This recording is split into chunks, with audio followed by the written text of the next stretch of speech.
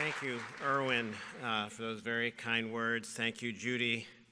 Thanks to the entire AALS staff and the executive committee, and certainly my Villanova Law colleagues who are gathered here as well. It is really uh, so wonderful to be here for the first time since the pandemic began. I was so happy to see many folks over Zoom during the past couple years, but there's just nothing like being together in person. And throughout this conference, I've been so grateful to have the opportunity to be here with all of you, to see smiles, to share stories, break bread, look you in the eye as fellow professors, deans, administrators, and Americans. I'm glad to have had this time together to engage in thoughtful discussions about the importance and relevance of law schools at a time when the strength of our democracy is being tested. I'm very proud to follow Erwin Chemerinsky, and I'm grateful for the inspiration of his leadership and the theme he set before us to consider how law schools can make a difference. I would like to build on his challenge and ask all of us to think and act together to define our role as the Association of American Law Schools in defending democracy. And that is my theme defending democracy. And I propose that we embrace this as an ongoing challenge for all of us. I'm proposing that AALS focus on its role in defending democracy not just this year, but over several years going forward. We have a special role to play in helping and saving our democracy from the very real dangers that threaten us and our country. We didn't get to this place of constitutional crisis or chaos overnight. And we're not going to find our way out of it in one or two election cycles. I have an analogy that I use to make the point of just how much danger our democracy is facing right now. We are at a crucial point in our nation's history where we are drifting. In some ways, we can see this moment as analogous to being pulled by a riptide in the ocean. The strong current moves us away from the safety of the shores of democracy, running out to an endless, dangerous sea. Swimmers caught in the riptide may not even realize what is happening, and then, suddenly, the shore is far away. Swimming back becomes difficult, perhaps impossible, and the shore, our democracy, is out of reach. The swimmer may try hard, panic, and even exhaust himself by trying to swim against the tide just to be caught up endlessly adrift and drowning. We are in danger of such a fate in our nation. Two years and a day ago, we were on the brink of losing our democracy. We witnessed a horrific and devastating attack that was beyond anything we could have imagined before that day.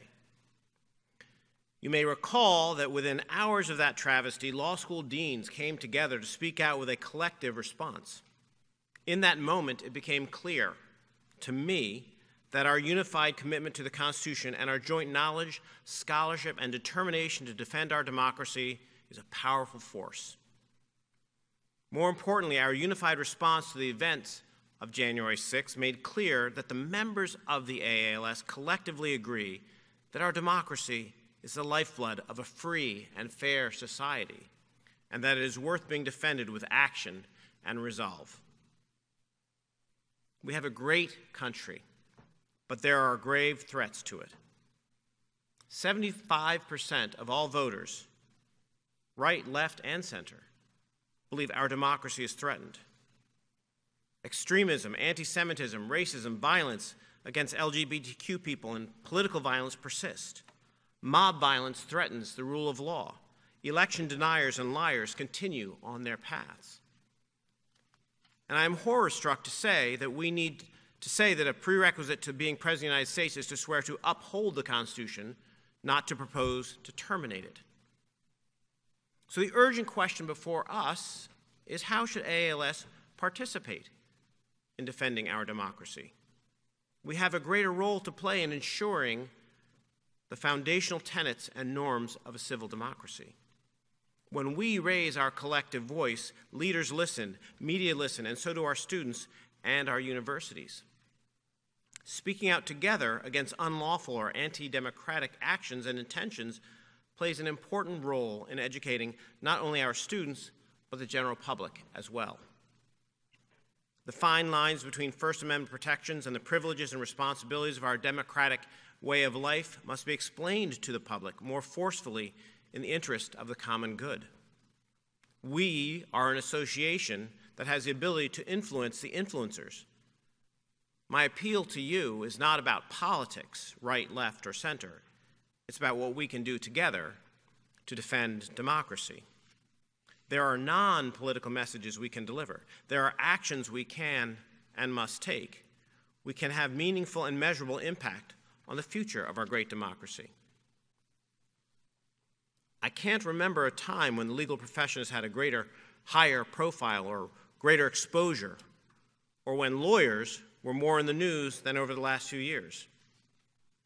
Look around the room and you'll likely see someone you saw on national television just a few days ago, offering explanations and insights into any number of subjects at the top of a news cycle. There are 332 million people in this country, and just 1.3 million of us are lawyers. So less than one half of 1% who have the knowledge that we have and are sworn to the Constitution as we are as lawyers. Our outsized influence touches nearly every aspect of government, the economy, and society. We lawyers are elected officials, judges, CEOs, C suite executives throughout private and public sectors. We are everywhere in places of prominence, power, and policy. Lawyers have shaped and will continue to shape our democracy. So, what about us in legal academia? We, as educators of lawyers, we are the shapers of the shapers, placing upon our shoulders a distinct responsibility to this country in ensuring that our democracy endures. How do we turn a spotlight on the meaning of the promise we make, our shared values, our commitment to the Constitution, commitment to the rule of law, and commitment to civil norms? How do we use our outsized influence to defend and strengthen our democracy? In the context of our work as law school faculty and staff, defending democracy means so much, including defending and teaching the rule of law, teaching the centrality of our Constitution, and defending democracy also means imbuing respect for norms and traditions, and so much more. So, my theme, defending democracy, that's the theme. Our organization is the AALS. For us, I believe the work of defending democracy is built on three pillars of every law school our curriculum, our scholarship, our culture. First, let's consider curriculum. Are law school curricula serving our democracy as well as they should be? Can we better embrace our roles in educating lawyers for their roles in the ongoing work of forming a more perfect union? How to ensure that both the spirit and objectives of the rule of law and the norms that uphold it are a substantive dimension of the education we deliver? Can we do more than what we are currently doing? The lawyers we are preparing today will take on extraordinary challenges in the years ahead. They must be prepared. We can review not only what we teach, but also how we teach, asking ourselves if we are truly reinforcing the norms and standards of our democracy. Now, I'm not suggesting that we shift curriculums in any particular direction, but I am urging that the intellectual essence of upholding the rule of law and the values it conveys belongs in every legal education. This is not about me. Ultimately, this is about our association and it's about you. I am very interested in hearing your ideas and considering how to fortify curricula in a society that's changing swiftly and issuing new challenges and opportunities every day. That is our collective challenge. My second area is our scholarship. How does scholarship achieve greater prominence in the work of defending democracy and strengthening our republic in the 21st century? There's exceptional scholarship being pursued by people throughout this room and throughout our law schools.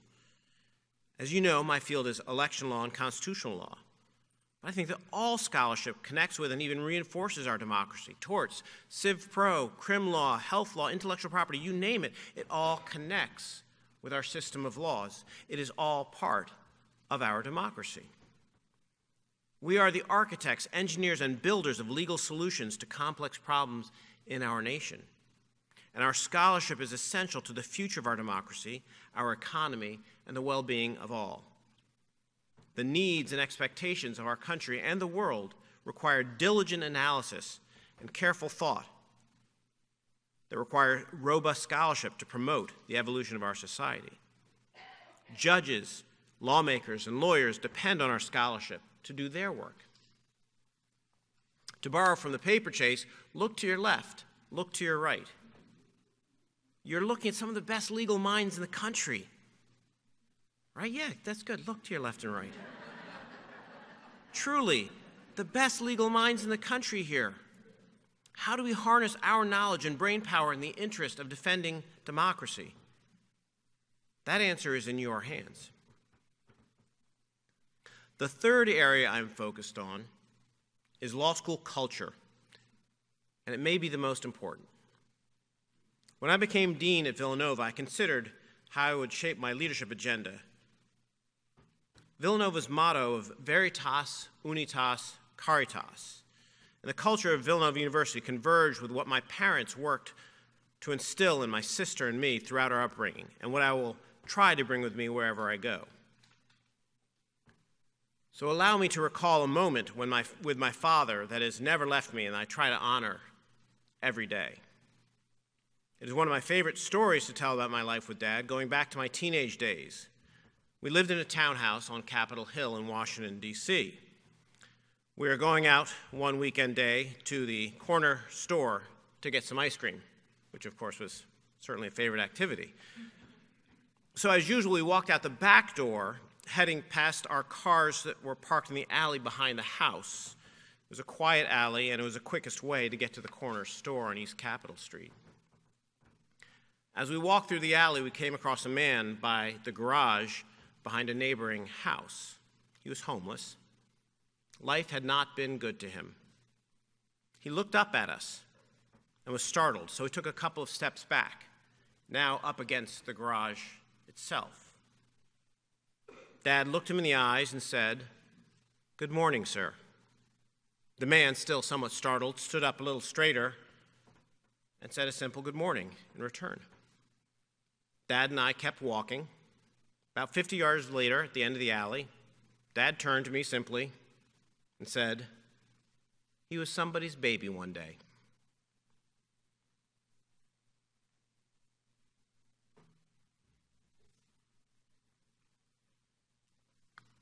That moment with my father has never left me. Dad saw the humanity in all of us. He had worked as special counsel to the President for Civil Rights under President Johnson. He had served as the chairman of the Equal Employment Opportunity Commission. He had served as the first black sec- Secretary of the Army in the Carter administration, the position he was serving in at that time. He had met presidents, dignitaries, the Pope, and more. This homeless man deserved dignity, and respect just as all those other people. In some ways, these values are universal values, showing dignity and respect, remembering that that man was somebody's baby once upon a time. While these, I believe, are universal values, still too few people live these values that immediate, reflexive respect for human dignity that I saw in my father is at the heart of what is decent in our society. My father showed respect for all, and I believe all deserve respect. But unfortunately, society has seemed to have lost the proprieties of human interaction. I fear that polarization and politics are eroding respect for one another. A basic commitment to our common good and common decency has withered. I believe that our culture, the culture of our law schools, sets the tone for how we will all participate in defending our democracy. So at Villanova Law, we are consistently focusing on our law school culture to instill our values of veritas, unitas, caritas. truth, unity, and love. They are as much part of the educational experience as the academic rigor we bring into the classroom every day. Our values are the currency of our culture.